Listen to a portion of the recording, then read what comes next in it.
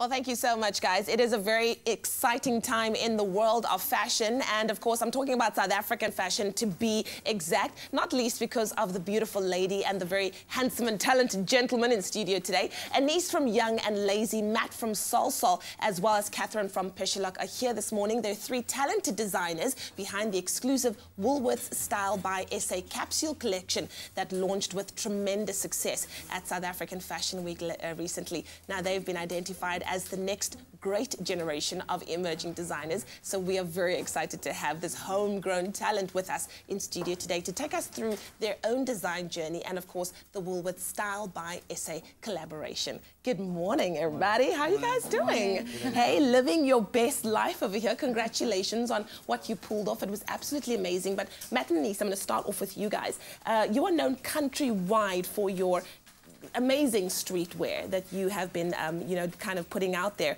What are some of the trends that you think is at the helm of this fashion genre at the moment? I'll start off with you, Elise. Well, I don't know, like, um, we don't really work with trends, and I think, uh, well, in streetwear, and at this point, it's, uh, it's the kids who basically depicted trends, yeah. so it's, yeah, I guess. And you, Matt? Yeah, I think Anees is right. I think both of us have never really tried to follow, like, I guess, like global trends or what everyone's, like, doing popularly. Probably that's the word. Yeah. Um, I don't know, yeah, it's just like the kids that come to the store, seeing what they're wearing, like listening to those guys, chatting to them, and taking it from there. Absolutely amazing. Now, Catherine, your brand, Pichulik, is that right? Yeah. It has gotten international fame, shall we say. I mean, Emma Watson was seen wearing some of your things a while ago, as well as many others. What do you think is, um, what, what, what makes your jewellery kind of speak for itself and stand out like it does? I think we're distilling kind of ancient healing modalities of jewelry and ornamentation from the continent and reimagining it in a contemporary way. Yeah. So I think that really speaks to, to women.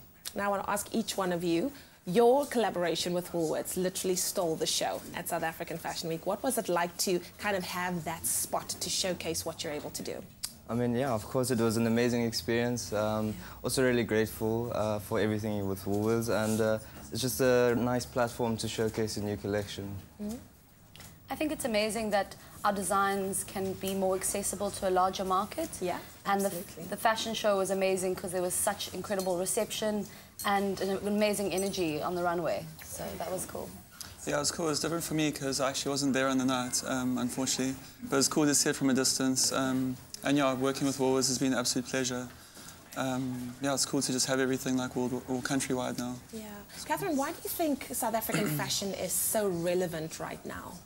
Well, I think that Africa is relevant right now, and I think it's it's kind of feeding into many kind of global trends, but also people are looking to Africa for, for growth. And I think our fashion is kind of a distillation or a metonym for that. Wonderful. Well, to all of the young people that are sitting at home right now who are seeing you and you're such an inspiration and uh, you know, a shining light that anything is possible and if you have a dream, you can definitely achieve it. What would you say to those young people right now with regards to getting into the fashion industry? Um, I would just say do your groundwork. It's, it's not all glamorous as you see and what we put out, true. but uh, yeah, it's just a lot of hard work.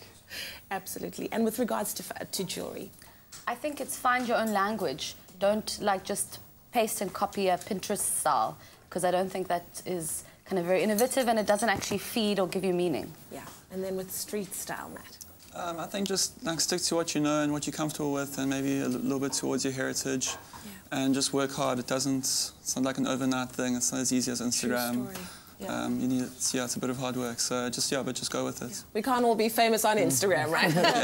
you actually have to uh, put in some hard work. Thank you so much, guys, for being here. And once again, congratulations much. on everything that you're Thank doing. You, you make much. us very, very proud. Thank you. Keep Thank that so flag much. flying high. Now, some words of wisdom from some of South Africa's finest sitting right here, Catherine, Anees, and Matt. Thank you so much for coming here today. And then, of course, you can shop the exclusive Style by SA collection online at woolworths.co.za in select stores.